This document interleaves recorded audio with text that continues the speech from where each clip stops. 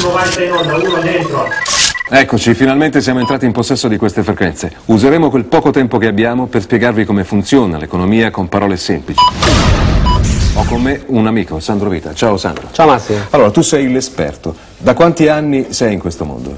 Sono oltre vent'anni e soprattutto la mia pignoleria del voler andare fino in fondo per avere le cose chiare. Quindi sicuramente di cose ne avrai viste aiuterai me e anche gli amici a casa a fare un po' di luce in questo mondo. Sì, è un mondo molto complesso dove è molto difficile fare chiarezza cercheremo di fare questo sforzo. Ecco, ad esempio, eh, che cosa succede quando i mercati vanno in crisi? C'è addirittura chi parla di panico, la parola è giusta. Sì, si parla di panico, si parla di- in maniera molto forte delle emozioni che si provano in certi momenti e in certi momenti i media facendo informazione contribuiscono ad alimentare questo panico, ma proprio in quei momenti dove c'è il panico lì ci sono le maggiori opportunità di guadagno. Ma non ci credo.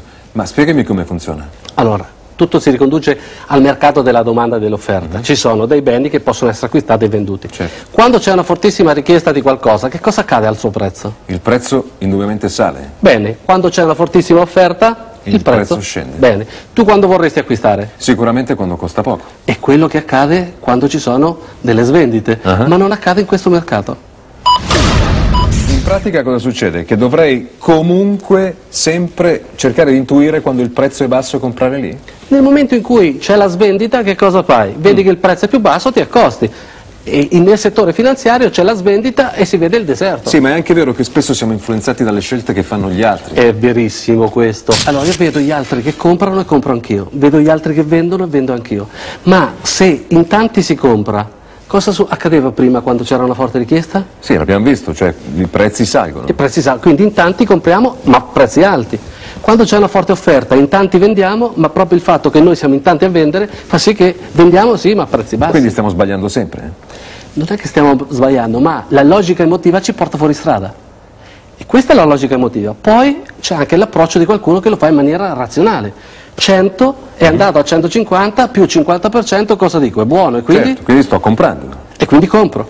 100 è andato a 80 meno 20%, non è buono e quindi che cosa faccio? Vendo. Ma nel primo caso tu compri Eh. dopo che è cresciuto e la- nel secondo caso tu vendi dopo che è sceso. E Scusa. quindi anche qui è la stessa E cosa. allora sto facendo come prima, compro quando è alto e vendo quando è basso.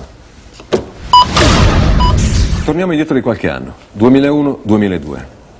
Crollo delle borse per la bolla di internet. Arrivano i terroristi e tirano giù le torri a Manhattan. Crollo delle borse mondiali. Tutti vendono. Tutti vendono. Tutti vendono a chi? A chi compra? Necessariamente, non ci possono essere tutti vendono. Certo. Molti vendono a pochi magari che acquistano, ma necessariamente vendono a qualcuno che acquista. E addirittura c'è una visione opposta delle prospettive, perché chi vende lo fa perché, perché pensa che scenda ancora. E che cosa fa invece dall'altra parte chi compra? Pensa che salirà. Mi hai illuminato, è vero. Insomma, mi sembra di capire che spesso comunque siamo costretti a seguire una moda o l'umore di qualcuno. Fammi un altro esempio che possa farmi capire meglio tutta questa storia. Allora, facciamo un esempio della campagna. Devo decidere, i contadini devono decidere se piantare il grano oppure piantare il mais. Fanno un'analisi e vedono che in base ai prezzi dell'anno scorso è più conveniente il grano. E in tanti fanno questa scelta. Al momento di presentare il raccolto sul mercato che cosa accade? Che la quantità di eh, grano è, elevata- è molto elevata e Certo. quindi il prezzo, se l'offerta è molto elevata, il prezzo è basso. Certo.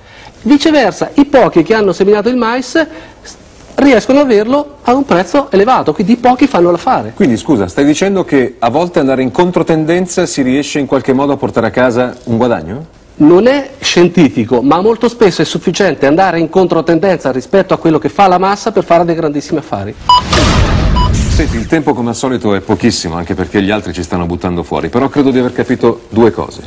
Tutti comprano e tutti vendono non è vero. C'è sempre una controparte ed è quella che può aiutarci a fare una scelta migliore. Dico bene? Esattamente. Ok, ci hanno tolto la linea. Grazie, arrivederci, alla prossima.